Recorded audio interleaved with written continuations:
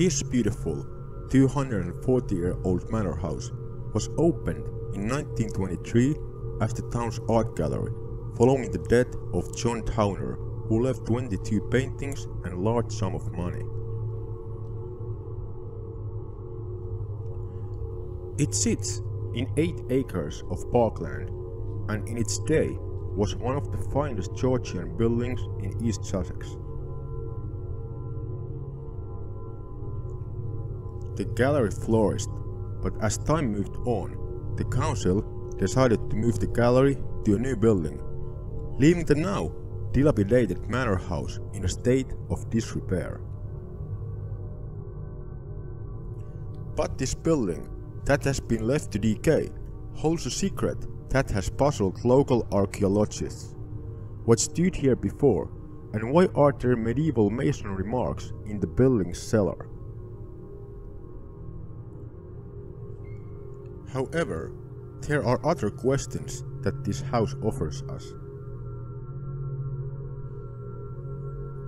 Strange noises have been heard coming from the old building, and why was the bathroom sealed off when it was turned into the gallery?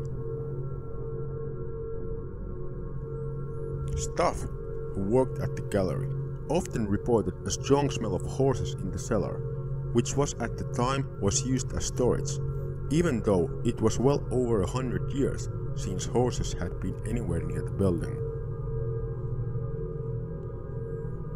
And footsteps were heard upstairs when the building was closed to the public. Sometimes even snippets of a conversation could be heard.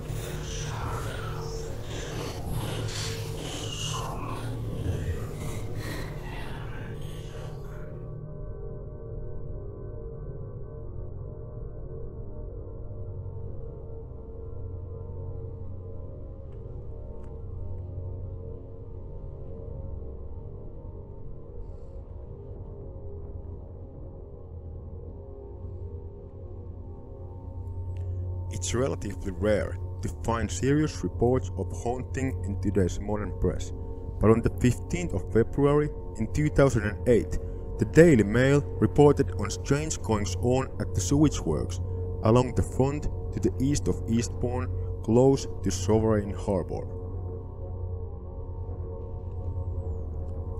Finished in 1997, it was one of the first treatment works to be built underground and consists of 140 meters of reinforced concrete tunnels.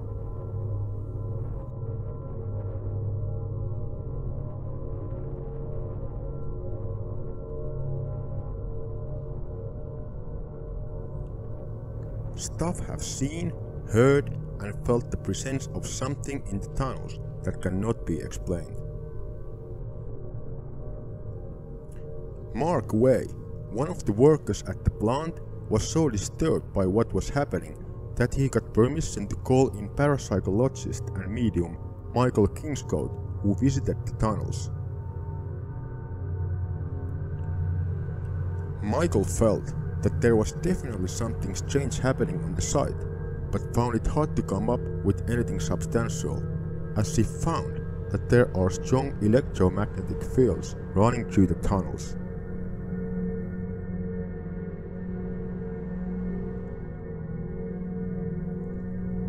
Muffled voices have been heard behind workers as they work, and there is a strong feeling of being watched.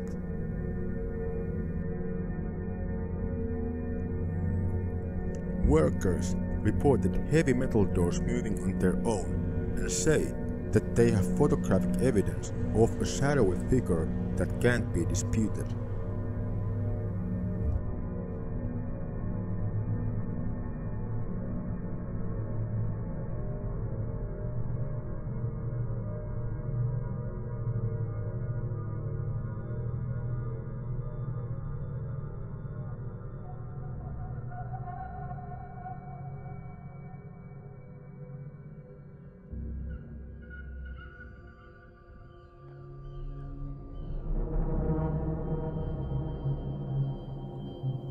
This beautiful Victorian theatre, built in 1883 as the new Theatre Royal and Opera House, was refurbished in 1904 and renamed the Royal Hippodrome Theatre, giving holiday makers the opportunity to reveal in its music hall and variety show traditions, which are still going strong here today.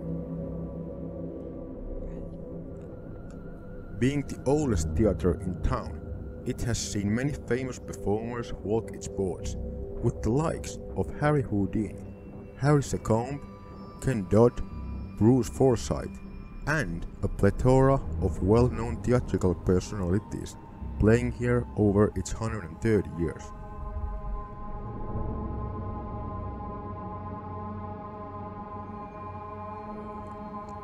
During the Second World War, the theatre was closed as it sat in what was at the time called Hellfire Corner, where German bombs caused devastation, but amazingly, the theatre survived with only the loss of some of its original ornate plaster moldings.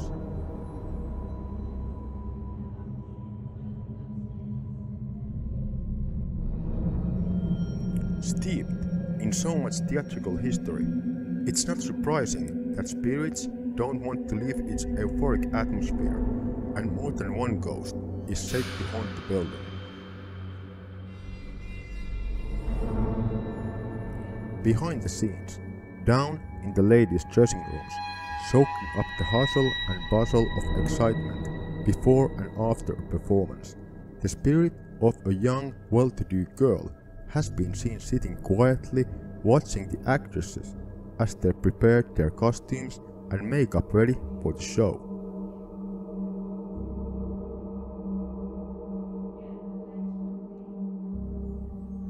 This is said to be Emily Fogart, the daughter of one of the original theatre managers, who spent many a happy day trying on glittering costumes and spraying herself with exotic perfumes surrounded by performers ready to spoil a pretty 12 year old girl enthralled in their craft.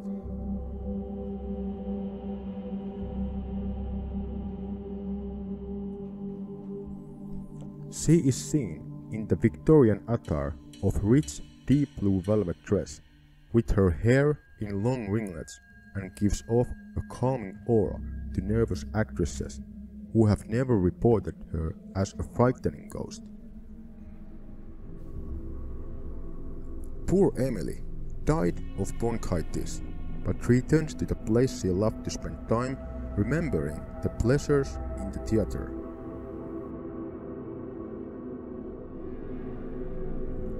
The auditorium and stage are also said to be haunted. Witnesses have seen a woman seated in the grand circle, others just seeing a dark silhouette watching out over the stage. People have reported suddenly being pushed and hearing while standing on the stage. Could this be the presence of long dead actors waiting for the public to leave so they can once again entertain the masses during its glory days of old?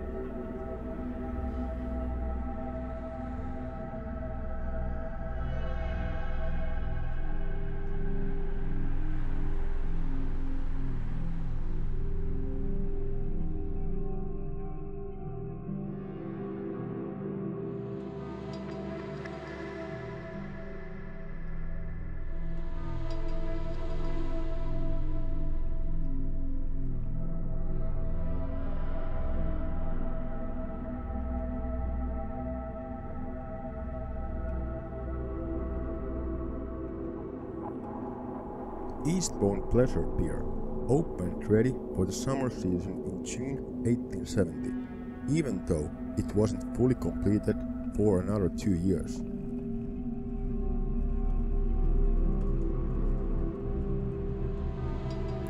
Walking along the promenade, you can imagine the holidaymakers strolling out on the thousand feet long pier, taking the air and enjoying the delights of the paddle steamers that ran trips along the coast and even over to France. For such a beautiful construction, it has had its share of modification over the years, beginning with a rebuild right from the start, when On New Year's Day 1877, half of it was swept away during a storm.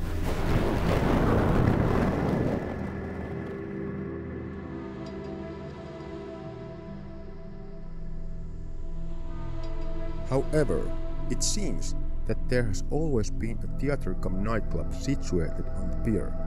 Originally a 400 seat building finished in 1888 to the present Atlantis Bar, rebuilt after a fire in 1970.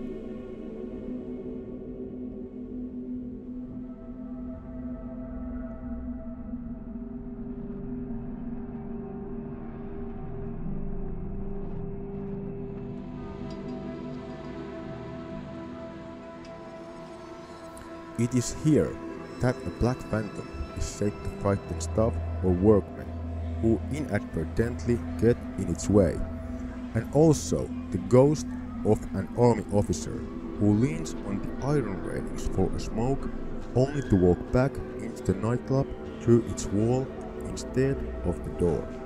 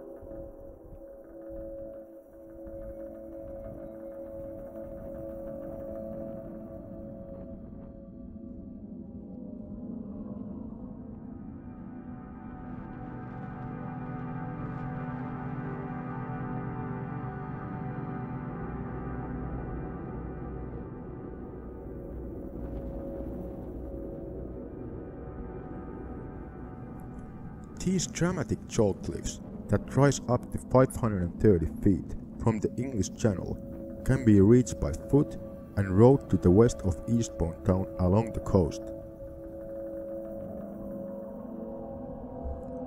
There have been countless sightings of wayward souls reported here, and when visiting you can feel the pull of the sea and the vast skies that take your breath away. The feelings of sadness and loss are huge, especially when encountering markers of remembrance for those that have chosen to end their life here. It is reported that some 20 people a year commit suicide by falling off the cliff's edge, where it is said an invisible, malevolent presence wills people to take a step to their death. Several independent witnesses have seen a white, misty figure, whilst others have said they were approached quietly by a black robed monk who points to the edge, willing them to walk over the cliff. As suicides have been reported here since the 1700s, could there really be demonic spirits and evil elementals roaming the cliffs? Prompting and tempting those already feeling lost to take their own life.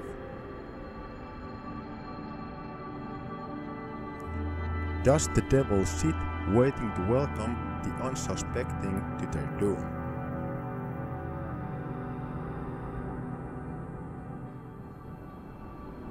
Some people believe so, and exorcisms have been performed here to try to remove these evil entities from the area.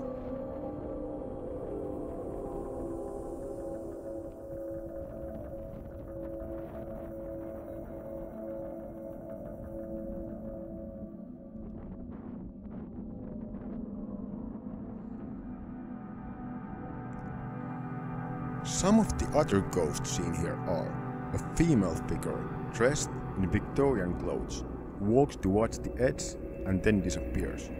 A farmer's wife, carrying her baby in her arms, walking along the cliff edge. A grey lady who spooked a walker's dog when she leant over to stroke it, and then disappeared in front of the man's eyes.